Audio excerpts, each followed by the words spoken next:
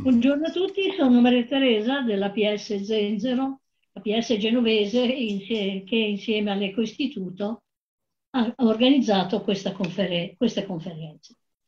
Questa conferenza fa parte di un ciclo che abbiamo cominciato a mettere in cantiere questa primavera quando si è cominciato a parlare di transizione ecologica e abbiamo cominciato a chiederci quale transizione ecologica vogliamo per, mettere, per fare chiarezza su, per tentare di fare chiarezza su queste cose, abbiamo invitato tutta una serie di esperti che vedete in questa slide, nella parte sinistra di questa slide, e, e tutte queste conferenze sono registrate e sono visibili sui nostri siti che sono zenzero.org e ecoistitutorece.org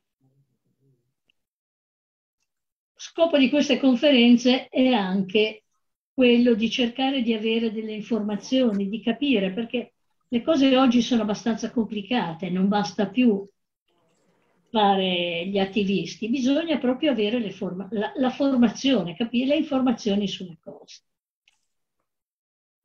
Oggi siamo arrivati nella parte destra c'è, della diapositiva, c'è le prossime conferenze.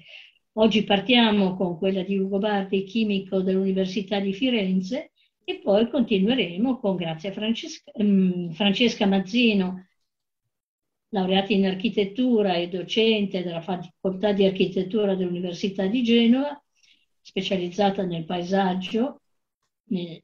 Poi continueremo con Grazia Francescato e Luca Montanarella. Prima di passare la parola a Federico che illustrerà la conferenza di oggi e il relatore di oggi e introdurrà il relatore di oggi, vi raccomando al solito di tenere spenti i microfoni, eventualmente anche le telecamere, non siamo tantissimi, ma a volte se siamo un certo numero la rete non, non ci tiene, quindi la, la telecamera è opportuno tenerla spenta. E vi ricordo che per il dibattito finale preferiamo vivamente le domande scritte in modo da dare a tutti la possibilità di esprimersi. A questo punto direi che passo la parola a Federico per introdurre la conferenza di oggi. Bene, buonasera a tutti. Abbiamo appunto il piacere di avere con noi ospite Ugo Bardi. Ugo Bardi è un chimico, quindi un collega, ci siamo conosciuti qualche tempo fa in quel di Firenze. Ugo Bardi è docente appunto all'Università di Firenze ed è anche un ruolo molto importante perché è membro del, del, Club di Roma, di cui magari ce ne parlerai un po' di questa tua esperienza. Uh, ha, ha, molti campi di interesse, quindi si potrebbe dire che lui ha questo approccio multidisciplinare ai problemi che affronta sia come docente eh, come ricercatore all'università, ma anche come, come divulgatore scientifico, perché eh, come dire, si vede che è molto attivo in questo compito. Si interessa di esaurimento delle risorse, ne parleremo appunto per quanto riguarda il mare, della dinamica dei sistemi eh, più o meno complessi, anche questo sarà un argomento che tratteremo oggi, e della scienza del clima e nonché delle energie rinnovabili. Quindi, quindi come vedete, come dire, è un esperto di tutte le tematiche che oggi dobbiamo in qualche modo affrontare. Dicevo appunto che è un divulgatore molto bravo, ehm, l'ho invitato con piacere perché vedrete ci stupirà, ma è anche un blogger, quindi molto, molto presente rete, nella rete con alcuni suoi siti estremamente interessanti. Ed è autore appunto di diversi libri in cui insieme alla pubblicazione di tipo scientifico c'è anche un uh, libri, eh, come dire, di tipo um, di informazione, quindi divulgazione scientifica a tutti gli effetti. Cito alcuni titoli, La fine del petrolio, il libro della chimera, l'effetto Seneca, la terra svuotata. Oggi parleremo appunto, il filo conduttore della, della nostra conversazione di oggi è su un altro tema che riguarda appunto quello delle risorse ed è il mare svuotato. È un libro che Ugo ha scritto in collaborazione con Inaria Perissi, che è una sua collega, di cui magari se lui ci poi darà qualche informazione in più e tratta un argomento che nel dibattito attuale rispetto alla transizione eh, ambientale energetica non viene molto trattato, quello del mare, anche se il mare poi in realtà il nostro pianeta è un pianeta d'acqua, quindi dovrebbe avere importanza. Ecco, um, cominciamo allora a, a, trattare con... Ecco, intanto vabbè, eh, Ugo, dici un po', eh, com'è che ti è venuta l'idea di trattare il tema del, del mare e delle sue risorse?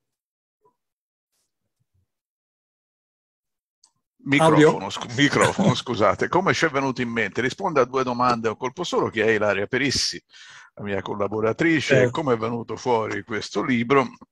Allora, vedete, nel 2012 ho scritto un libro che si intitolava La Terra svuotata, e quindi capisci dove è venuto fuori il titolo Il eh. mare svuotato, però um, abbiamo cominciato da allora, io e altri, a occuparci di risorse in termini generali. Ti dirò, ti posso dare proprio l'inizio di tutto, che nel 2001, nel, nel settembre del 2001, l'11 settembre del, del, 2001, io ero in America all'Università di Berkeley, a un certo punto beh, beh, beh, accesi la televisione e dico, mamma mia, che succede? E da allora mi è parso di capire che avessimo un problema di risorse Cos'era pianeta. successo quell'11 settembre? settembre 2001, ve lo ricordate? Comincia a essere sì. lontano nel tempo e sono passati ormai più di vent'anni, ma insomma, ma fu una scossa eh, notevole. L'attacco, insomma, l'attacco alle, torri, alle gemelle. gemelle. Sì, l'attacco alle torri gemelle. Ero lì e da allora ho cominciato a occuparmi di petrolio, ma poi il petrolio alla fine ti viene a noia perché parli sempre di petrolio, alla fine ti occupi di minerale in generale, alla fine abbiamo espanso l'argomento alle risorse in generale. Allora, nel 2000, fai conto, 2016, eh, cominciò a lavorare con me la dottoressa Perissi, che è una mia allieva di, di qualche tempo prima, cioè, che lei era, aveva preso il dottorato con me su tutta una chimica astrusa che tu come chimico, uh, Federico, con la chimica dei, dei, dei, liquidi ionici, se ti incuriosisce. Ah, una, una, cosa mh, mm, chimica bella, eh, di quella non che... Non, non bau bau micio micio, chimica di quella. Certo. E aveva preso il dottorato su questo argomento e poi era andata a fare un po' di altre cose, aveva preso tutto, ricomincia, che facciamo? e studiamo le risorse e ci mettiamo a fare un modello matematico, più di uno ovviamente, modelli ci divertiamo tanto, ma l'idea non era tanto di fare modelli per fare previsioni. E credo che avete tutti visto negli ultimi due anni come i modelli fanno delle pessime previsioni.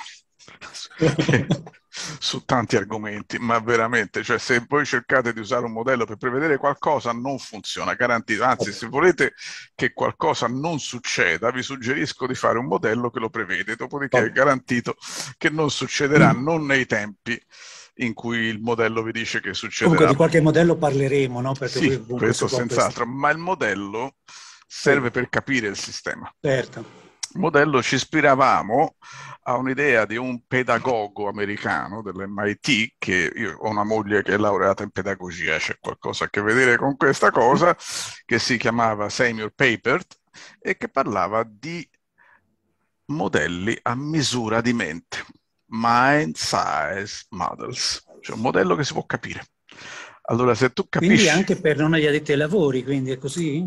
Come dici, scusa? Anche per non addetti ai lavori, quindi che possono... Ma se è possibile, tutti. ma guarda che gli addetti ai lavori, ti posso dire confidenzialmente, tanto nessuno ci ascolta, fa mette, eh? che molti degli addetti ai lavori non capiscono cosa stanno facendo, incluso io. Eh? Non, quando usi un modello complicato, e io ne ho usati, mi sono divertito, non sai cosa stai facendo, è normale. Quindi se usi un modello mind size a misura di mente, riesci a capire come funzionano le cose. Ho visto che c'è una slide su questo argomento, che sono ripartito da un modello semplicissimo, che è quello chiamato di Lotka Volterra, che forse... Ecco, alcun... Scusa, volevo introdurlo dopo, ti dispiace, sì, perché volevo parlare del, dei banchi di Terranova. Infatti, infatti, questo è interessante, ma è un modello semplice, te lo introduco, no, te lo, lo, so, lo, so. assumo rapidamente, che è lo bene, stesso dai. modello incidentalmente che si usa per le previsioni epidemiologiche. Allora uno dice, allora bene. non lo voglio, no, no, però... però Abbiamo fatto una scaletta. Funziona qualitativamente, cioè capisci okay. cosa, ti succe- cosa succede. È quella l'idea. Allora, quindi, a un certo punto Ilaria dice, ma cosa studi? Ilaria, mi è venuta un'idea, studia la caccia alla balena. Ecco, infatti. Lei si è messa a fare un modello della caccia alla balena e gli è venuto benissimo. E a questo punto, quest- non per prevedere, perché le balene sono finite un po, di, un, po', un po' di tempo fa, ma gli è venuto un modello che spiega perché non ci sono quasi più balene, ce ne sono ancora per carità, ma ci sono rimaste molte poche balene nello, nell'oceano.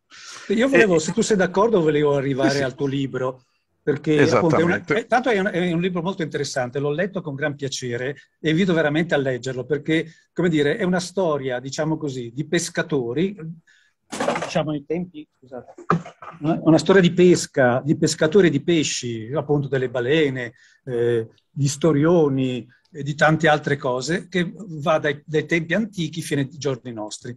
E lì in un capitolo tu lo dedichi ai banchi di Terranova. Io quando ho letto questo, questo, nome mi è venuto in mente una cosa che era appunto i capitani coraggiosi.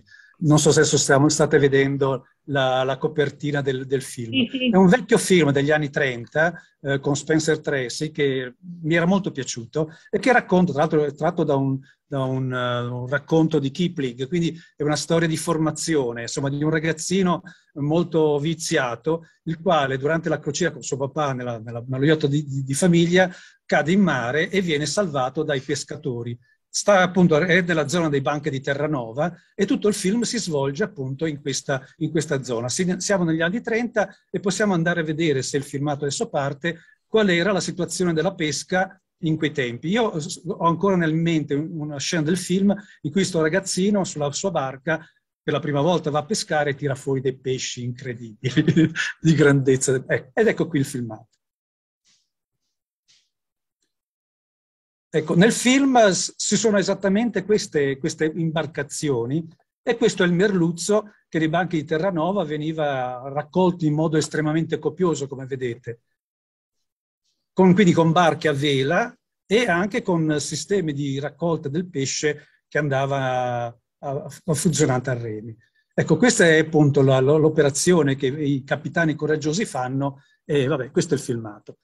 Quindi questo siamo negli anni 30, una copiosa quantità di, di merluzzi e adesso Ugo raccontaci, ma si pesca ancora qualcosa su questi banchi?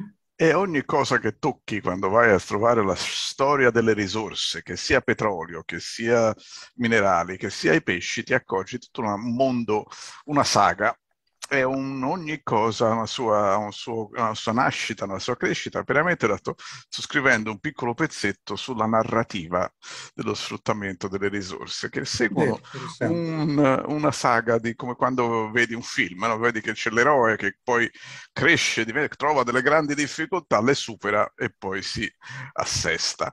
E lo stesso per i banchi di Terranova. I banchi di Terranova sono una storia incredibile che ha ispirato Kipling con quel, con quel racconto che è molto bello, anche il film degli anni 30 è molto Vero. bello con Spencer Tracy, un sì, tanto si può trovare ancora su YouTube. Sì, sì, molto romanzato perché insomma Vabbè, mh, molte cose, ma insomma chiaramente facciamo della fiction, ma d'altra parte quando parli di Moby Dick e delle balene, la stessa cosa, le balene ciclo un po' prima dei, dei, dei merluzzi. Il merluzzo era un pesce di un'abbondanza incredibile che fino agli anni 20, anni 30 era effettivamente abbondante, se non che a un certo punto entra nel mezzo la pesca industriale. E qui si comincia a vedere il problema, perché finché c'erano queste barche a vela che già facevano dei grossi danni, e tenete conto che le balene, un certo tipo di balene, quelle che, che, si vedono nei film di Moby Dick, sono state sterminate, praticamente ridotte a zero con delle barche a vela. Di, una barca e, a vela e, e di gente con una, con una, fiocina che andava a rincorrere. Non è che ci vogliano grandi tecnologie per sterminare. Il merluzzo, siccome si riproduce più rapidamente della balena, è stato sfruttato per un periodo un po' più lungo e comunque andassero le cose ai fini pratici, se peschi di più di quanto il pesce si riproduce, a quel punto il pesce sparisce. A questo punto di solito si chiama uno scienziato, più di uno, che ti fa un modello. Ecco così, volevo che parlare di questo modello perché anche quella è una storia carina. No, però perché... il modello che hanno usato quelli della pesca, cioè sono scienziati okay. canadesi, che tutta sì, la storia della, della gestione della pesca da parte delle agenzie apposite del governo canadese basate su degli scienziati che facevano il modello. Non si sa come questo modello era sempre sbagliato. Voleva, ti diceva sempre che potevi pescare di più di quanto non avresti ecco. dovuto pescare, tenendo conto anche che poi i pescatori non lo dicevano a nessuno, ma pescavano ben di più di quanto avrebbero dovuto pescare, va a finire che è stato un caso classico di collasso proprio collasso totale di quello che si chiama il banco di pesce, la fishery del, del mare del nord, completamente distrutto negli anni 60 circa, eh, 70, insomma ci sono stati più di, più di, una, di una manovra, ma insomma a un certo punto vi ricordate i bastoncini Findus, erano fatti eh. col merluzzo canadese, il bastoncino è un'invenzione degli anni 50 grande invenzione, eh, devo dire. Cioè, non è che non fatemi dire male de, di questo, che è un cibo buono, poco costoso, intelligente, però se esageri, come tutte le cose, è successo che negli anni 60-70 è sparito, eh, andate a leggere, l'ho comprato al supermercato, i bastoncini Findus, c'è scritto merluzzo del Pacifico, perché nel mare del nord non ci sono non, più merluzzi. Non ci sono, insomma, sono un po' ritornati, si continuano a pescare, si continua a leticarsi, ci sono altri tipi di pesce, c'è tutta un, un'interazione fra le varie specie che esistono nel mare del nord, perché il mare del nord è un mare estremamente pescoso, un materiale fortemente ossigenato dalla, dalla corrente del Golfo, quindi si, c'è moltissima fauna che ogni tanto arriva, va di moda un certo tipo di pesca, ogni tanto allora si esagera con quel tipo preciso di pesce, e allora uno, c'era uno che si chiamava il turbot, che a un certo punto gli spagnoli avevano, gli andava bene questa cosa, gli spagnoli hanno delle pescherecci che sono delle astronavi. Noi qui in Italia abbiamo specie di barchette, non, non dico a remi, ma insomma, ma insomma piuttosto vecchie e poco sofisticate. Gli spagnoli avevano messo su una vera flotta di pesca d'altura oceanica andavano a pescare nelle acque del mare del nord. Il governo canadese non era troppo contento, ha detto smettetela, noi non lo aspettiamo, no, utilizzate. A un certo punto ci ha mandato una metà guerra e ha mitragliato un peschereccio e ci è mancato un pesce. Anche le guerre per il pesce. Si fa la guerra davvero a furia di... E, ehm, vedete cosa succede? Finché il pesce è abbondante nessuno fa la guerra, se non esageri non succede niente perché effettivamente il pesce è una risorsa estremamente abbondante che non solo è abbondante ma si rigenera anche rapidamente. Ci vuole una certa, bisogna metterci l'anima per distruggerlo in modo così completo che non si rigenera più. Eppure gli esseri umani, tanto furbi, ci Eh sì, perché questo è un argomento che merita di essere... Senti, di, di, di Voltaire e di Lotka, ci vuoi parlare un attimo? Perché è interessante questo, appunto, di, raccontacelo tu, perché è da capire appunto, il motivo per cui i mari comunque si stanno svuotando, perché poi questo, quello che ci hai descritto, è un fatto, mi pare capire, generalizzato, insomma vanno un po' per tante, tante risorse del mare, no? che stanno, si stanno in qualche modo esaurendo e vorremmo capire il perché.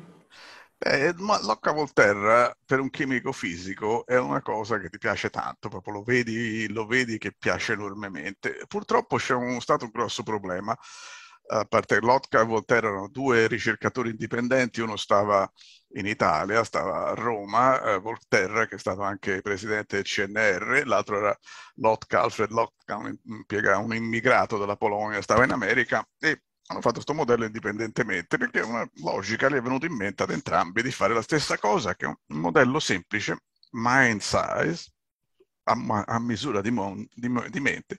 Che è quello che stiamo, facendo, stiamo vedendo, scusami. Sì, eh, che semplifica molto le cose. Raccontacelo un po'. E eh, viene purtroppo viene banalizzato. Attenzione, il fatto che un modello è a misura di mente non vuol dire che sia banale. È estremamente profondo, ma tu puoi capire che cosa succede. Allora, vedi, vedete qui in, questo, in questa figura, si vedono queste onde che vanno su e giù che rappresentano la preda e i predatori. Tipicamente, sempre per banalizzare il modello, si parla dell'isola delle volpi e dei conigli, in cui si parla un'isola ipotetica in cui ci vivono solo conigli e volpi e le volpi mangiano i conigli, dice va bene, che succede di male? Succede che le volpi si riproducono in numeri eccessivi, mangiano troppi conigli, i conigli muoiono, a un certo punto spariscono, poi c'è l'assemblea del, delle volpi, il governo delle volpi si riunisce per fare un decreto su cosa fare perché sono spariti i conigli, allora dice diamo dei sussidi alle volpi perché ammazzino più conigli facendo più danni. Mm, questo non c'è nel modello, questo però, si evince. E, ehm, che succede? Quindi a un certo punto le volpi cominciano a morire di fame, a morire, a morire di fame, c'è sempre meno volpi, conigli a questo punto tutti contenti, dice facciamo quello, si riproducono come conigli, a un certo punto fanno, fanno i conigli, non, non, si sa bene quale sia l'attività sessuale dei conigli né perché siano stati presi come... però effettivamente si riproducono velocemente, ritornano su e il ciclo ricomincia, che con tutte le adeguate cautele, che non è mai esattamente così, che non esiste un'isola dove ci siano volpi e conigli, che poi va nel sistema biologico, nell'ecosistema, non trovi questo andamento. Ma questo è un modello estremamente gene- generale di quello che si chiama la dissipazione dei potenziali termodinamici mm. ed è estremamente generale se guardate le curve dell'epidemia, noi siamo i conigli e i virus sono le volpi. Noi siamo la preda, loro i predatori. E vedete esattamente queste curve, nonostante uno dice ma io fermo, faccio, faccio, fa su e giù un po' come gli pare. Ehm, non che non si possano fare cose, ma insomma il sistema si sfoga in un certo modo perché è difficile fermare un virus che è un animaletto di dimensioni submicrometriche, così come in un'isola ipotetica dei volpi e conigli, non è che volpi e conigli si mettono insieme, sviluppano armi da fuoco, non funziona. E, torniamo, torniamo, al mare, ti ah, spiace? Sì, Avevo sì. appunto ai, ai, pes- ai pesci e pescatori, così vediamo un po'. Perché il, il problema era, attualmente sono andato a consultare un po' di siti dei pescatori italiani e loro dicono che sono assolutamente contrari, per esempio, ai fermi di pesca Ecco, tu riguarda questo, eh, tra l'altro lo tratti in qualche modo anche questo aspetto del libro, tu come la pensi questo argomento? Cioè chi è che ha ragione? Oppure come si può fare e comunque sia, è possibile non votare in questo caso i mari? Come sempre ci sono dei problemi intrecciati, fortemente intrecciati che non li risolvi e normalmente quando entra di mezzo il governo a cercare di regolare il sovrasfruttamento di, di qualcosa fa peggio. No, davvero, non è, non è, uno scherzo, perché veramente il governo non è, mette pesantemente le mani su queste cose, regola Parlando male. anche di carattere di governi generali, non credo soltanto degli italiani, scusami. No, no, assolut- tanto per essere chiari. Se mi sembra che sempre la scelta del politico è motivata da alcune cose che appunto a quanto pare poi alla fine non sono le cose che funzionano. Assolutamente, se nel mare del nord siamo arrivati alla guerra a spararsi addosso, vuol dire che qualche errore di gestione c'è stato, perché mm, normalmente no. Allora, che succede? Qual è l'antidoto al modello di Lotka Volterra? C'è un antidoto. C'è un antidoto che è stato studiato e proposto da una signora che si chiamava Elinor Ostrom, che fra l'altro rimane tutt'oggi il solo premio Nobel, eh, una donna, premio Nobel per l'economia, che lei ci ha ragionato sopra faccio un passo indietro, ancora prima, no, un po' dopo Lotka Volterra, un signore che si chiamava Garrett Hardin, che era un biologo, non so se ci sono biologi in, in uh, sala, insomma, questa cosa, Hardin aveva ba- messo le basi teoriche del modello di Lotka Volterra applicato all'economia i cosiddetti beni comuni. Come si gestiscono i beni comuni? Se lui dimostrò che se li gestisci massimizzando i profitti, li distruggi. Semplice, ma è vero, funziona. Certo. Il modello mind size, semplicissimo. Dice, non vuoi cose matematiche strane. Dici, eh, vuoi gestire i beni comuni? Gestiscili per la massimo a profitto e tutti distruggono quello che possono perché non rimane più nulla. È quello che succede. Arriva Elinor Ostrom molti anni dopo, lei mm, non c'è più da non tanti anni, credo sia morta nel 2012, ma fa un lavoro monumentale, bellissimo che non ha avuto impatto, cioè tutti la lodano per, per tantissime buone ragioni, ma non hanno veramente capito l'impatto di quello che lei ha detto. Hanno detto sei una comunista, non l'hanno voluto dire ecco. ufficialmente, però lei diceva una cosa, non proprio comunista, ma diceva che il bene comune, che sia pesce, grano, gatti, volpi, conigli, si gestisce dal basso. Guarda che geniale. E non lo diceva solo ho pensato sta cosa, sono professore ah. universitario, ha fatto degli studi e lei ha trovato che quando tu gestisci il bene comune in modo orizzontale, cioè fai parlare gli attori, si parlano fra di loro, è così che... formano un questo... network e si gestisce bene. È sperimentale, è storico, vai a vedere, funziona. Sì, Ugo, scusa, su questo c'è questa tua bella idea di appunto, come dici tu, di di riportare nelle scuole, perché poi questo mi pare aver capito, questi, come lo vogliamo chiamare, dei sceneggiati? Anche, facciamo anche sono, quello, sì. Perché, no, d'accordo, però mi sembra che, che inquadri l'argomento che stu, stai trattando in questo argomento. Allora poi, poi magari lo racconti meglio tu, ma insomma la storia è un po' questa. Nella scuola c'è una rappresentazione in cui c'è un pescatore, anzi una famiglia di pescatori e una famiglia di contadini. Ehm, e sera eh, sia il pescatore che il contadino tornano a casa e trovano in entrambi i casi i, i ragazzini che dicono papà, papà, ho fame, ho fame, eh, portami qualcosa da mangiare. Vabbè, io se permetti c'è anche una nota carina, perché appena arriva il, il, sia il contadino che il pescatore, la prima cosa chiedono alla moglie se è stata fedele. La moglie molto pazientemente non è il caso, ma sì, no, lasciamo perdere, è vero che non tirarmi fuori la storia che il, c'è il figlio che assomiglia al fattore o l'altro che assomiglia al, al vicino di casa. Vabbè, comunque va avanti così. Questa storia poi magari ce la racconti un po' meglio tu, ehm, finisce male, perché finisce, tu racconti in questo racconto, che i, figli del pescatore muoiono di fame, mentre i figli del contadino eh, sopravvivono. Ecco, questo mi sembra che sia un bel esempio di quella cosa che dicevi tu, della, di come, come, dire, i beni comuni che vengono difesi in qualche modo dalla, dalla base, no? Chi è, è proprio sul, come dire, chi li gestisce, in questo caso il pescatore che fa degli errori, a quanto ho capito, poi ce lo racconti tu, e invece il contadino che ha una visione diversa e fa delle scelte sagge che permettono ai suoi figli di sopravvivere. In questa tua è, favola... Sì, è una, tua... è una cosa che è nata un giorno che mi avevano invitato a una a una presentazione a dei ragazzi della prima, seconda media e questi ragazzi erano molto bravi, molto carini ah. e però la presentazione che i miei colleghi li stavano facendo erano decisamente troppo complesse per il loro cambiamento Vabbè. climatico, l'effetto serra, bravissimi, ero, facevano loro meglio, allora mi ero preparata anch'io una presentazione, a un certo punto ho detto però poveracci, si sono sorbiti così bravamente per un'ora tutti questi discorsi del professore, riscrissi uno, uno una trama, uno script, come si dice in italiano, script, sì. un, una parte, una traccia e prendevo due volontari, uno faceva il pescatore, uno il contadino, c'era la moglie del pescatore, la moglie del contadino, i bambini, gli detti questo foglio da fare la, la scena, si sono divertiti come matti. Quindi questa sceneggiatura come nel tuo libro la si trova, quindi volendo si sì, può sì, riprodurre eh, in altre condizioni. Che non carina, tieni conto di una cosa, che non sapevo di Ostrom quando ho fatto questa cosa, ah, in ecco. realtà la voglio rifare per dire poi che in realtà il pescatore poi impara Vero. si mette d'accordo con gli altri pescatori e non... Perché voleva approfondire con te questo argomento qui. Quindi perché il pescatore in questo, appunto, questo, eh beh, questo racconto... La, la, storia è nota, è veloce, non è una storia inventata, succede. La, il sovrasfruttamento è molto più tipico della pesca che dell'agricoltura. L'agricoltura perché? Uno, perché il pesce non si conserva. Tutto lì. È molto semplice, il pescatore è sempre povero, un semplice motivo, non ha controllo sulla produzione e non può accumulare capitale. Eh, cioè, il pescatore è un comunista per natura, in sostanza, ma comunista povero, comunista di come vorrebbe, ma non, non riesce mai a fare la rivoluzione, ma se leggete il Vangelo, che si parla tanto di pescatori, eh erano dei sovversivi, giustamente, il loro capo era un tizio che, che anche lui era un pescatore, come, come, si legge nel Vangelo, non è che ci era, era chiaramente il, il, il, presidente, il, il manager della public relation della cooperativa che gestiva la pesca nel mare di Galilea.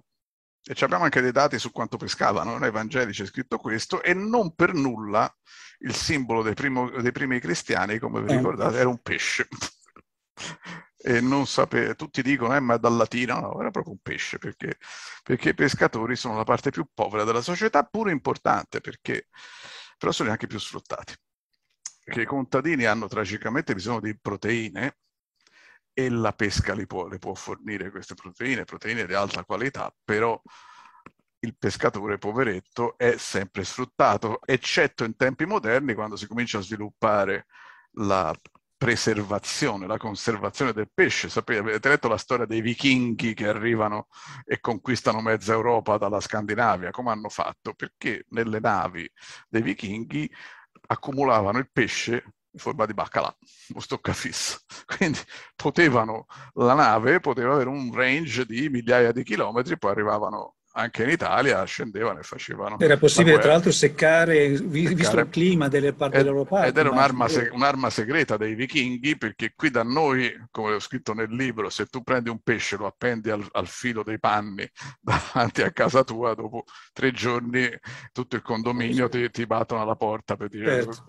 se lo fai in Norvegia non, non, non mi fido di quello che ho letto, lo fai e c'è un clima che è particolarmente um, buono per fare questa cosa, il pesce si secca e diventa stoccafisso. stoccafisso. Non, non, è la stessa cosa del baccalà, ma insomma, a parte il baccalà è salato, lo stoccafisso no, è certo. è una meraviglia tecnologica.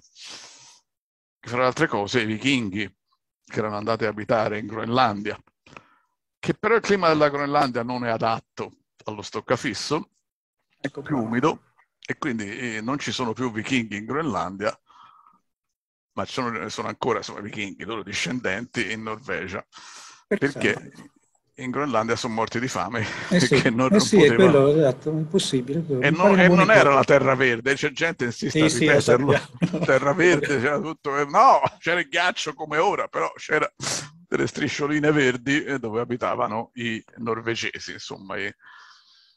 Quindi il, il pescatore, vabbè, muore di fame proprio per queste cose, mentre il contadino in qualche modo riesce a sopravvivere. Poi su quello volevo agganciarmi perché c'è un'altra cosa mi pare interessante su cui volevo sentire un po'. Perché il contadino ce la fa a sfamare i suoi figli? Il tuo, il tuo racconto. È una tradizione molto antica che ancora noi abbiamo circa 10.000 anni di storia di, di tradizione contadina. E questo è un punto abbastanza fondamentale, che il contadino in qualche modo riesce ad accumulare capitale capitale in forma di cibo, che poi è, ma il capitalismo nasce da quello, bene o male. Se poi nascono le città è perché il, il contado riesce a rifornirle di cibo, però appunto eh, con queste invenzioni del 7-8 mila anni fa si comincia a riuscire a fare una cosa che era impossibile prima, accumulare capitale di cibo, avere un surplus di cibo e poi questo surplus si diventa un surplus di popolazione che poi tutta la, la civiltà, che è quella che è. Il contadino è sfruttato senza dubbio, però non allo stesso modo del pescatore. In una società moderatamente stabile, come poi dopo varie oscillazioni vale il modello del capoterra anche per i contadini, cioè va su, va su, però si stabilizza. Si stabilizza perché anche il, il um, padrone feudale, il duca, il conte, eh. il, a un certo punto non può ammazzare tutti i contadini, se no non, non sì. produce più, quindi si stabilizza. Ci sono dei casi, per esempio la storia del Giappone, ti faccio solo un esempio, per mille eh. anni popolazione stabile e più o meno c'era da mangiare per tutti, con attenzione, ma era una società stabile, civile, ben, ben ordinata, con tutti i suoi difetti, ma che ha prodotto cose interessanti non si può fare per i pescatori perché sono soggetti a, questi, a queste oscillazioni che poi, sapete la storia, c'è la vecchia storia, dai, dai a un uomo un pesce e vivrà per un giorno poi insegnali a pescare e distruggerà il mare. Non era, non era proprio così, ma, insomma, così. ma è, va un po' adattata, ma è, ma è così. Scusa Ugo, della, della, lettura, tra l'altro questa cosa che so, ti dirò, anche tu lo tratti. Vabbè, sostanzialmente ritorniamo alla, alla, comunità contadina, perché è vero quello che stai dicendo, no? il rapporto col feudatario. Però da un'esperienza personale che ho vissuto all'interno dell'entroterra Ligure, eh, una Val d'Aveto si chiama, insomma una zona che è stata, diciamo, in cui le strade sono arrivate negli anni 30, tanto per darti un'idea, una comunità contadina è andata avanti, come appunto stavi raccontando tu, sulla questa, queste, questa cultura contadina giapponese, sicuramente per millenni, perché ci sono anche le, i, tra, le, i segnali storici di tutto questo in una situazione di equilibrio in cui uh, ci sono stati anche vari signori, dai Dori ai Fieschi, che in qualche modo ovviamente hanno, fatto, insomma, hanno governato l'utilizzo di queste risorse. Però c'è anche un'altra realtà in, estremamente interessante, almeno a me ha colpito molto, che era quella delle regole delle, dell'uso dei beni comuni. Per cui queste regole continuano ancora a essere presenti nel senso che, per esempio, quando arriva un, un, forte temporale, tutti escono fuori per andare a tenere puliti eh, tutti quanti i rii, tu, o comunque diciamo, lo scolo di, delle acque, per poter garantire la, una buona manutenzione delle strade, delle strade poderali, tanto per farti un esempio, e altre cose di questo genere. Anche altri livelli, anche storie, ripeto, che sono andate a farmi raccontare estremamente interessanti.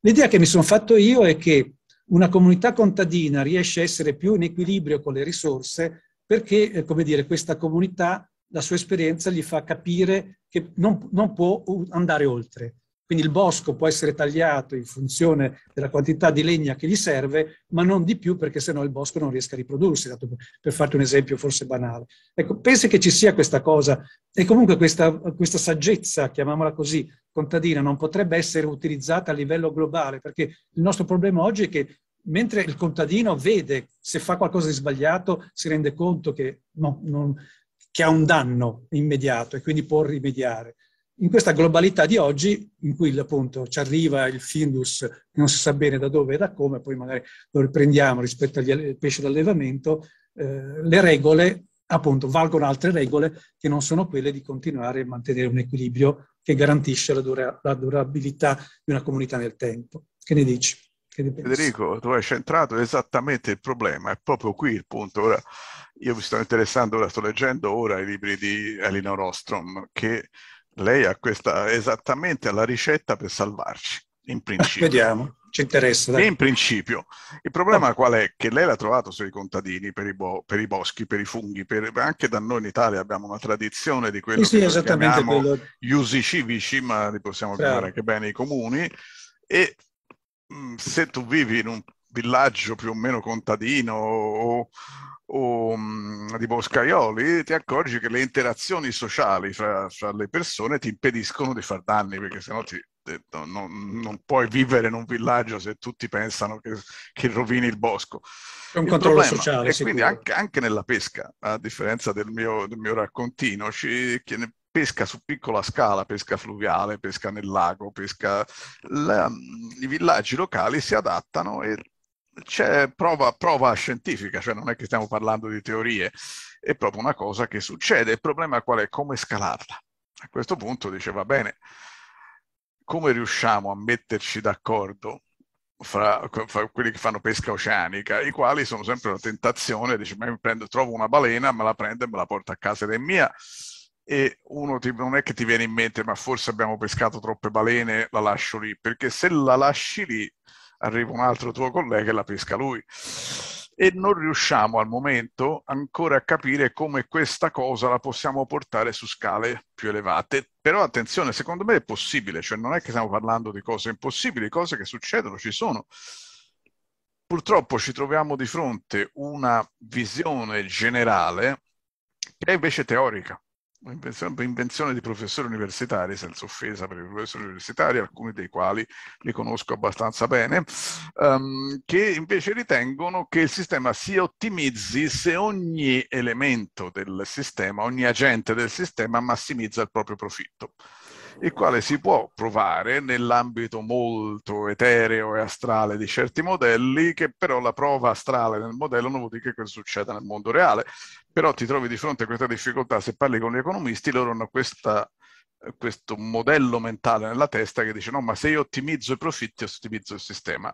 No, se lo ottimizzi ma lo distruggi. E questo, e questo viene fuori dal modello di Rocca Volterra, che a questo serve, per farti capire qual è il problema non ti prevede niente, non sai quanti, quando esattamente, però, però ti rendi conto che se tu premi troppo sulla risorsa e la risorsa non si riproduce o si riproduce poco, alla fine ottimizzi i tuoi profitti distruggendo la risorsa. Certo.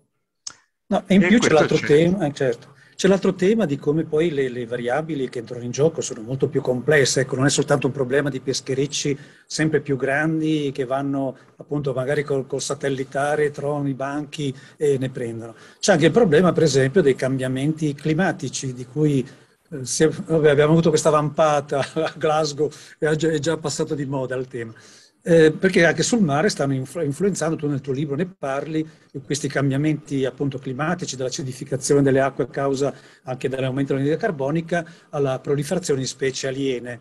Qui se Maria Teresa ti manda una, un'immagine, è per esempio l'arrivo dei barracuda in quello del, del, di, di, Portofino. Io ho fatto fin da ragazzo un po' di pesca subacquea, poi ho deciso che non pescavo più perché preferivo guardarli i pesci e scoprire le sue cose e, io Barracuda non ho mai visti, finché appunto due o tre anni fa, prendendo il brevetto dei 40 metri, mi sono trovato in questo branco di Barracuda eh, come pesci assolutamente estranei alla, alla, all'ambiente del Mar Ligure, ecco, ed, è, ed è, e ormai sono presenti dappertutto, compresa le mucillaggini che stanno facendo sparire le gorgonie, che era un'altra delle caratteristiche del ponte di, del promontore di Portofino, uno spettacolo bellissimo, tra l'altro visibile anche in apnea. Eh, temo che non sia più visibile proprio per quei cambiamenti climatici che stanno inducendo dei cambiamenti che hanno a loro volta una pressione sull'ambiente, sull'ambiente marino, quindi pesci e altri organismi marini. Questo è un altro bel problema, no? È un bel problema anche questo, diciamo che al momento ancora l'effetto climatico sul mare non è il più importante, c'è anche quello, ma più che altro la, lo sbilanciamento del sistema, dell'ecosistema marino che ti sbilancia tutto, anche quello è il modello di Rocca Volterra, tu rimuovi una specie, questo è il grosso problema dei modelli standard che usano gli specialisti di pesca. Io calcolo quant'è il massimo, maximum sustainable yield, MSY, che, che, è il peggior disastro dell'universo. Una volta che tu hai calcolato, ma io mi calcolo quanto pesce posso pescare e mi fermo lì e poi il governo fa il decreto, dice fermati lì. No, ma come che non c'è quel pesce solo nel mare, c'è un modello assurdo alla base, poi di solito utilizzato male, succede che tu peschi troppo di quella specie di pesce, ma non è solo quello il problema, perché poi viene fuori una cascata di effetti per cui perché i barracuda non c'erano nel Mediterraneo? Evidentemente c'era qualche specie che gli impediva di venire nel Mediterraneo, qualche non so cosa, farsi tonni o chissà cosa, ma, ma se cercavano di venire qualche animale se li mangiava e non c'erano più. Adesso quella specie lì è stata distrutta o quasi, probabilmente come buona applicazione di quella MSY del modello, a quel punto i barracuda possono entrare nel Mediterraneo, lo stesso delle meduse, ora ehm, non so ecco. in Liguria quanto è il problema, ma sì, ogni tanto ci sono le invasioni anche parti, un'invasione di, medusa, di meduse spaventosa, perché ci sono le meduse ora? Perché ci sono i pesci, non ci sono più i pesci che li mangiavano, e una volta le meduse erano cibo per i pesci, ma ora c'è un ulteriore problema, perché se non è che dice allora smetto di pescare vanno via le meduse. No, perché a questo punto le meduse mangiano le uova mh, mm, plankton e quindi non fanno crescere i pesci. Quindi il sistema eh. è stato alterato in modo non definitivo, perché nulla è definitivo, ma in modo difficile a questo punto da tornare indietro. Bene, senti, mm, vabbè, stiamo avviandoci verso l'ultimo quarto d'ora per le domande. Però c'è un argomento che, su cui volevo sentire un po' cosa ne pensavi, perché poi questo argomento lo tratti nel tuo libro. Ora, vabbè, come tu ben sai, eh, il nostro ministro Cingolani ha di fatto, in modo che ci si poteva aspettare, non casuale, ha rilanciato il nucleare.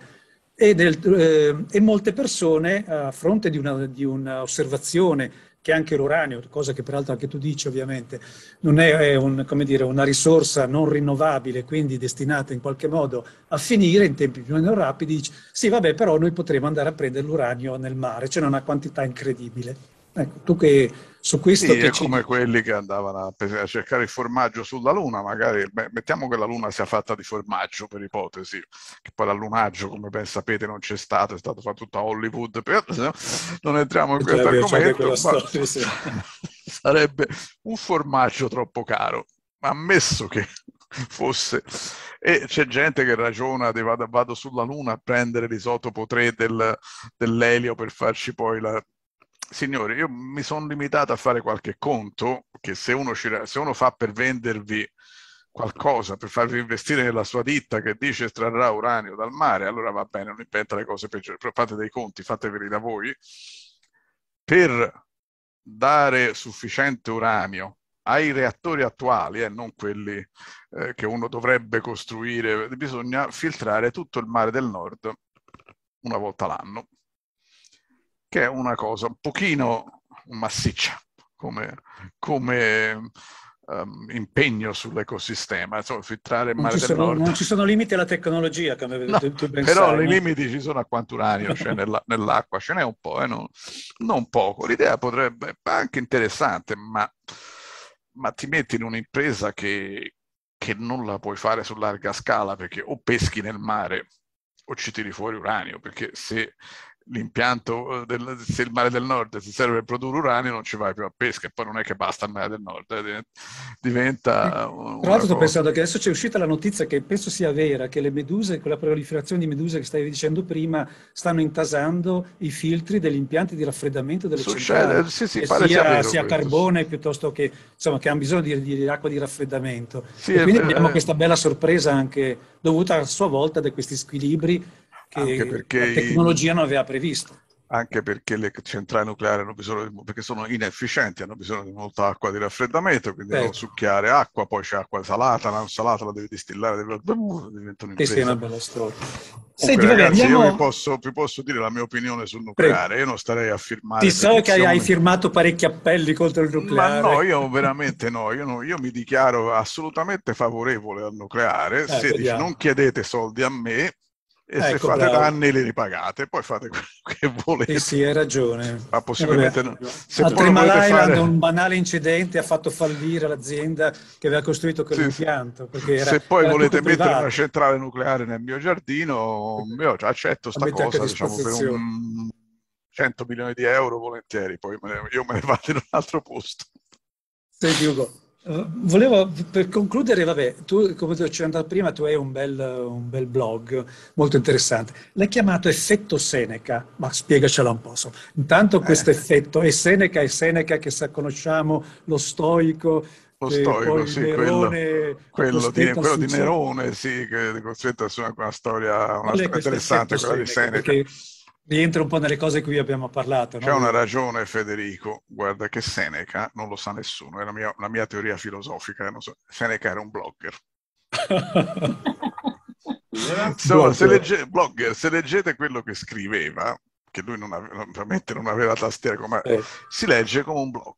Cioè è una comunicazione rapida, veloce e lui usava tutto un set di, di modi di dire che non aveva il grassetto, no? però se te lo vedi quando c'è una frase in grassetto, come blogger, i blogger scrivono in grassetto per enfatizzare e lui usava questo stile qui, non era un filosofo molto profondo, insomma, Aristotele, Platone, inventate lui era uno così che si divertiva, un intellettuale che parlava un po' di tutto, si divertiva a parlare anche di fulmini, di, di montagne, di cose, faceva anche, faceva anche banchiere, c'è una lunga storia anche lì che, che non scherziamo, ma una di queste sue frasi col, in grassetto, quelle che trovi nella sua diciamo, una produzione abbastanza ampia, ma la trovi scritta in grassetto, era questa, che lui diceva, scriveva a un suo amico dicendo, ah carissimo Ricidio, volesse il cielo che le cose andassero male lentamente così come crescono, invece, invece dice,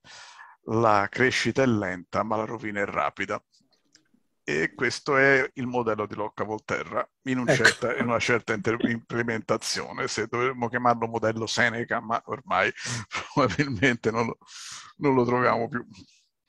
Bene, senti, vabbè, eh, finiamo su questa cosa. Avrai visto anche tu il film Don't Look Up? Ti sei no, un po' rivisto? Non, non, non l'ho visto, visto per, però ho sentito dire di cosa parla. Mm. A me l'ho visto e in qualche modo mi è, mi è piaciuto, perché, vabbè, sostanzialmente racconta di due astronomi che scoprono che una, che una, una cometa sta venendo diretta per, sul pianeta, tra due mesi loro fanno i conti esatti al 99,7%, e qui è il problema, quindi hanno capito che c'è il problema, ma la politica, lo spettacolo, i mass media i, eh, non, non, non, non, gli, non, gli, danno ragione, anzi c'è un, un, personaggio inquietante che dice appunto, ah ma questa facciamola venire giù, poi la, la spezzettiamo in tanti pezzi per andare a recuperare i metalli rari che questa cometa contiene, ci faremo un bel, una bella barcata di soldi che poi ci serviranno per far finire la fame nel mondo. E, e dicono esattamente così. Sì, sì, questo allora, è... La domanda è, vabbè, ora ti senti un po' Cassandra insieme a, mi immagino, tanti altri colleghi, visto che hai fatto, stai facendo parte del club di Roma e quindi in qualche modo, come dire, i limiti dello sviluppo di quanti anni fa fu scritto quel, quel, libro che poi tu hai rivisitato, quindi tra l'altro ho letto anche la tua rivisitazione. Se tu sei d'accordo vorremmo anche, magari ci possiamo rivedere per parlare di questi argomenti un pochino più vabbè, specifici. Comunque, la tua, ecco, diciamo, come ti senti? Insomma? Vabbè, Nella veste di Cassandra. Ultimamente, ultimamente ho imparato tante cose che prima non sapevo sempre si impara, anche tu Federico, sono certo, che, che, impari delle cose, se l'avessi saputo io quando ero piccolo, sai quante cose avrei fatto. In realtà io credo che anche Cassandra avesse i suoi difetti, eh? Mm, perché, perché, bisogna stare molto attenti. Cioè, un problema di questo film, che non ripeto, non ho visto, ma ho letto la trama e comunque la riassunta, è che sono sicuri questi due scienziati che ti caschi l'asteroide sulla testa, ma um, c'è un rapporto costo-beneficio anche su tutte queste, tutte queste cose che facciamo. Siete sicuri, cari, cari signor Cassandra e signorina Cassandra, che veramente avete il 99,9% di probabilità che vi sia che ci caschi addosso questo asteroide. Ora la cosa dell'asteroide probabilmente si arriva con una certa precisione, ma il fallimento dei modelli predittivi che abbiamo visto negli ultimi due anni Vabbè, okay, è okay. stato talmente pesante che io stesso, che sono un modellista, non mi fido più di nessun modello. Anche se uno viene uno dice ma casca l'asteroide, ma mh, mm, siamo sicuri, pensiamoci sopra. Ovviamente questo se uno ragionasse razionalmente ci metteremmo lì diciamo, fai, questo è il tuo modello, questo dice questo, questo, diventa politica, poi arriva qualcuno che ci fa sopra i soldi sul tuo modello, come scienziato non ci fai soldi, però sulla, spaventando la gente con l'asteroide, meno male non gli è venuto in mente a nessuno, hanno fatto solo un film, ma immaginati che qualche scienziato pazzo inventasse sta cadendo l'asteroide, datemi un miliardo di dollari che così, che così lo, lo, caccio e poi, e poi fa finta. Potrebbe, secondo me potrebbe anche succedere. per cui questo è ancora più in alto di Ostrom, cioè non, non riusciamo a gestirci la, il sistema globale. E questo è un problema di un'enormità spaventosa, non, non, non è questione di modelli, non è questione di cose, è proprio come evitiamo che la gente faccia soldi sulla ignoranza degli altri questo è generale, molto generale, Però, molto peggio del sovrasfruttamento. Il cambiamento climatico penso che non sia da mettere in discussione. Poi si tratta forse di, come dici no, tu, non è, non è in tempi, modi, eccetera, però insomma. Non è in discussione, ma la scienza Io mi sono definito scienziato preoccupato, sì, sì. perché lo sono veramente. Sono tutti preoccupati, però la scienza ha preso una tale mazzata negli ultimi due anni che, che anche il cambiamento climatico comincia a, a non, non, tira più come tirava una volta. Il problema c'è, so. ma non riusciamo a aver fiducia certo. che certe cose che dovremmo fare contro il cambiamento climatico siano ev- veramente contro il cambiamento climatico, non siano per arricchire qualcuno che questo è quello che si chiama greenwashing. Il greenwashing. prima. Il greenwashing è un problema reale, certo. Un problema gigante. Penso sia un argomento che potremmo, se tu sei d'accordo, potremmo ritornarci perché mi interessa, nella mia formazione, chiamo pure da, da chimico ambientalista, è stato eh. fatto sullo sviluppo sostenibile, cioè scusate, i limiti dello sviluppo. È il libro che è nella mia biblioteca insieme a Carson, insomma, sono le cose fondamentali. Ripeto, ho anche eh, appunto visto la tua rilettura di questo episodio, mi sembra, piacerebbe riparlarne perché è importante capire, appunto, vabbè, anche per familiarizzare con, con gli altri, con, con, i limiti del, del modello di scientifico di ricerca, insomma, no? perché c'è anche questo tema forse, no? N- nessuna certezze assolute, però abbiamo un metodo per cercare di capire dove stiamo andando. Eh, vabbè, questo, se non voglio entrare a aprire, aprire questa cosa. Io se tu sei d'accordo, ehm, vabbè, non so se Maria Teresa ha già delle domande, quindi lei un po'... Più che domande sono considerazioni, nel senso Ecco, facci, leggitele, vediamo un po'. Dal, osserva, ci fa notare che dal 1 gennaio 22 è vietato pescare i cetrioli marini che vivono sui fondali marini e contribuiscono alla, sal- alla salvaguardia dell'ecosistema. Chiede Mare, Mare Vivo, presieduto da Rosalba Junior, che è presente nel libro Spigolatrici d'ambiente, che, che tale divieto diventi definitivo. Il NATO, che, che gioca un ruolo da protagonista dei cambiamenti climatici, non è stato invitato alla COP26. Mentre al tavolo in cui erano riunite le nazioni del mondo si discuteva e si prendevano accordi per mitigare e affrontare gli enormi problemi che coinvolgono l'intera umanità, pena la scomparsa della nostra specie dal pianeta Terra. Il mare, che ricopre il 71% della superficie, produce oltre il 50% dell'ossigeno. Un respiro su due lo dobbiamo all'ecosistema marino. Assorbe il 30% della CO2 e l'80% del calore generato dall'uomo negli ultimi 200 anni. Ma non c'è minuto che non sia sotto attacco in ogni angolo della Terra. Inquinamento e overfishing stanno distruggendo un equilibrio straordinario formatosi in milioni di anni tra esseri animali e vegetali eh, grandissimi come le balene e minuscoli come il prezioso si è perso, il prezioso plankton.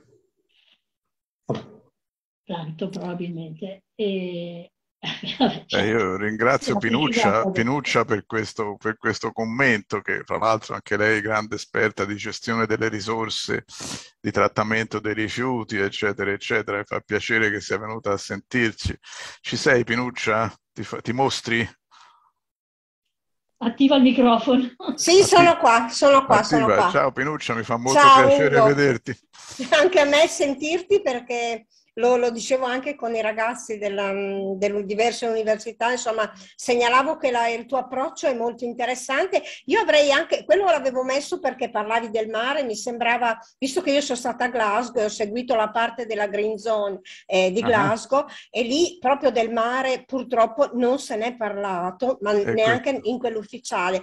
Però mi interessava capire rispetto a questa interessantissima tua considerazione sulla sulla questione del, dei modelli predittivi e del fallimento dei modelli predittivi. Questa cosa su cui si basano eh, eh, anche le decisioni poi del Glasgow eh, eh Climate Act, che è quella del, della fine, dell'esaurimento del, delle fonti fossili sostanzialmente, no? volevo qualche tua considerazione in merito perché di fatto questa idea di non aumentare la, della, non aumento della temperatura al di sopra di un grado e mezzo eh, proprio mh, a causa di, non solo delle emissioni di CO2, ma proprio del fenomeno appunto delle, de, dell'esaurimento delle fonti fossili, che è quello che spaventa di più anche l'economia per certi versi. Ecco, volevo una tua valutazione. Perché... Hai, de- hai, detto facile, Pinuccia, hai, detto, hai fatto la domanda più difficile dell'universo al momento attuale. Come si fa a sapere? E vedi, i modelli non sono predittivi, perché ci sono dentro talmente tanti parametri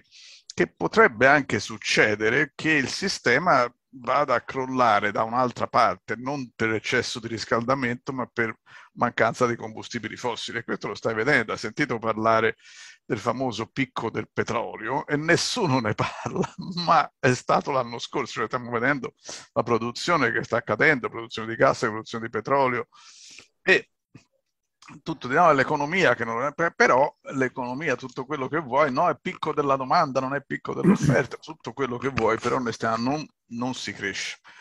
Quindi che succede? Molti dei modelli che pretendono di, di prevedere il futuro non riescono in realtà a prevedere, succede qualunque cosa in questo momento. Alcuni modelli non tengono conto, i modelli climatici non tengono conto dei cosiddetti tipping points, che a questo punto il sistema può essere già fuori controllo e non si sa che succede, questo è malissimo, oppure potrebbe anche succedere che il sistema si autocontrae perché non riesce a produrre, a continuare a produrre allo stesso ritmo in cui produceva finora per, per sovrasfruttamento delle risorse. Ora, sapete, leggevo ora un articolo su questo problema dei chip elettronici dei circuiti elettronici che sembrava diciamo, una cosa, un, uno squilibrio, ora il mercato rimetterà tutto a posto, ma si sta facendo sempre più grave.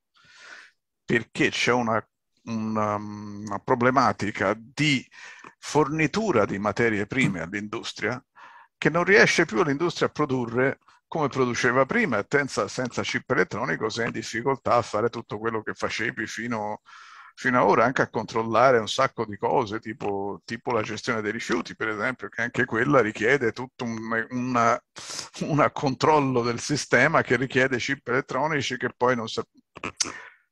In realtà ci stiamo muovendo in una specie di scogliera, non sappiamo su che scoglio andremo a sbattere, o forse con un po' di fortuna possiamo anche svicolare fra i vari scogli, eh? non, è, non, è, detto. Uh, però c'è una richiesta di Zani che dice che, che cosa fare, chiedo scusa Ugo, perché vabbè, il problema, a parte che potremmo approfondire l'argomento in un'altra puntata. Cosa fare lo articola dicendo come faremo ad esempio a dare pesce, oltre al resto, a 9 miliardi di persone? È buona cosa, mi sa che la, per il, per il, ci sono due possibilità. Una è di dirgli che gli insetti sono più buoni del pesce che mi sembra che sia di moda adesso mangiare. Io ho assaggiato, ho assaggiato eh. gli insetti, ehm, sono buoni, devo dire. Mm, per, però un bel salmone alla griglia è molto più buono. E, oppure li, li, creiamo i pesci ingegnerizzati per uh, manufacturing tridimensionale attraverso queste nuove macchine di fermentazione che creano proteine partendo da energia elettrica. Sentite nominare Pinuccia? È bellissimo questa, ti, con, una, con, un sistema di, di manufa, 3D manufacturing, sì, ti crei sì. un salmone. Terrificante. È bello però, è bello, sì. oppure anche no, oppure non, non, non ti, ti, contenti di quello che hai, appunto. Oppure meduse, meduse anche in Cina si mangiano, in Italia non, non è permesso al mercato di venderlo, non c'è una legge. Però mi dicono i miei amici cinesi che a casa loro si fanno gli spaghetti alla medusa, è proprio buono. Va bene. ricci.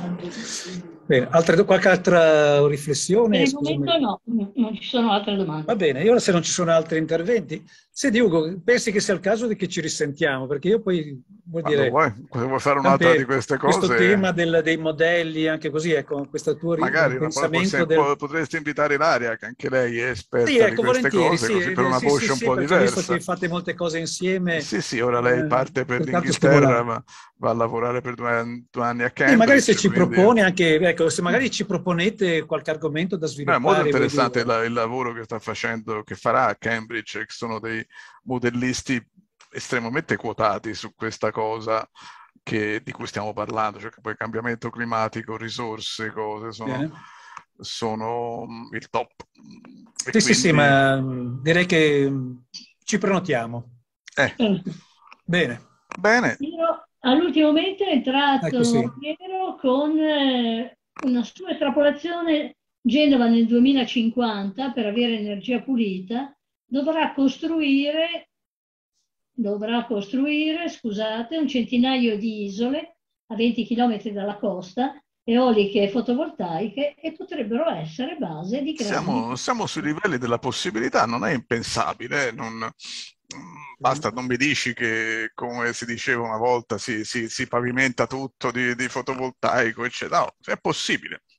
Forse sì, non ce n'è nemmeno bisogno. Il problema diventa la CO2, non favorisce il verde e quindi aumentano le piante e il verde. È vero, sta succedendo, sta succedendo, però il sistema non è così semplice. Quando il sistema si squilibra, il sistema reagisce e tende a non andare nella direzione in cui lo vuoi mandare, cioè forzando, come si dice la parola tecnica, il sistema con la CO2, il CO2 più propriamente. Um, che succede? Sposti il sistema verso una temperatura più alta. Il sistema reagisce assorbendo il CO2 e diventando più verde. Sta succedendo assolutamente, però non è che eh, non succede niente. Tu fai un forzante di 100% e il sistema se ne assorbe il 50%. Meglio che niente, però non è che puoi con, con questo sistema dice faccio quello che mi pare, tanto il sistema se l'assorbe. Manco, manco per idea. Ma comunque il, c'è un ragionamento anche qui estremamente complesso, ma di una complessità spaventosa, perché io sto lavorando adesso, mi sto divertendo, cerco di dare un modesto contributo a un gruppo di ricercatori russi che fa capo a una signora che si chiama Anastasia Makarieva, che sta a San Pietroburgo, che loro studiano l'effetto climatico delle foreste che secondo loro i modelli delle PCC, IPCC delle foreste sono tutti sbagliati. Avranno ragione? secondo loro comunque il, la, le foreste hanno un effetto raffreddante sul clima molto superiore a quello che, si, che sta nei modelli dell'IPCC e può darsi che abbiano ragione. Non mi sento di, dare, di dargli ragione perché non ne so abbastanza, però se tu vai a vedere come è fatto un modello climatico e ci sono talmente tanti parametri che c'è tutto lo spazio necessario per dire un certo settore del modello è tutto sbagliato. Può essere il, sistema, il modello comunque ti dà dei risultati che sembrano accettabili. Quindi qui c'è l'altro, l'altro una cosa, secondo Makarieva e i suoi colleghi, l'essenziale per combattere il cambiamento climatico in questo momento è riforestare e soprattutto non deforestare, che è una cosa ben diversa che piantare alberi. Eh? Uno dice, ma pianto l'albero? No, devi lasciare in pace le foreste, ma la stessa cosa del mare se tu cominci a dire ah gli alberi sono cosa utile, ne taglio un milione, ne pianto un milione e cento, non funziona così, fai peggio, lo stesso il pesce, il pesce dice ma io pesco un miliardo di tonnellate, però mi metto nel punto di maximum sustainable yield, non succede, no, succede dei danni spaventosi. Come tutte le cose ci vuole misura. E secondo me, vi dirò confidenzialmente, nessuno, non lo ripetete a nessuno perché lo sappiamo solo fra di noi, secondo me ce la caviamo. Però se smettiamo di distruggere le foreste e allo stesso tempo peschiamo un po' meno. Come lo si possa fare non lo so, ma secondo me ci, ci potremmo anche arrivare. Bene, d'accordo, con questa tua, diciamo così, questa speranza. Niente, io ti ringrazio tantissimo, è stato veramente utile, interessante. Immagino che sia piaciuto questo tuo intervento anche a tutti gli altri che ci hanno seguito. Allora io ringrazio te, quindi ti do appuntamento allora una prossima puntata, magari dopo, prossimo, dopo l'estate, insomma abbiamo già un, un, un programma abbastanza denso di, di, ulteriori incontri. Io volevo appunto ringraziare allora Christopher Garaventa che ci ha assistito alla regia, Mariuccia Romano che ci dà una mano alla console, eh, Carola che cura la grafica e, e, e, la, e anche Maria Teresa Tuccio che a questo punto fa da moderatrice ma che invito a dirci qual è la prossima puntata. Chi, chi ci verrà a trovare? La prossima puntata avremo l'architetta Francesca Mazzino, docente di architettura del paesaggio dell'Università di Genova e ci parlerà di tante belle cose, in particolare forse del suo libro il ritorno alla natura, perché si pensa che quella potrebbe essere una delle soluzioni. e il bosco in città, come appunto anche qui si stava esatto. parlando prima, che è anche una possibilità reale. Prima e si stava parlando a dicembre con, con Martini. Esatto. Torniamo Bene. sempre lì. Allora io saluto tutti grazie. e grazie arrivederci. arrivederci a tutti, alla prossima.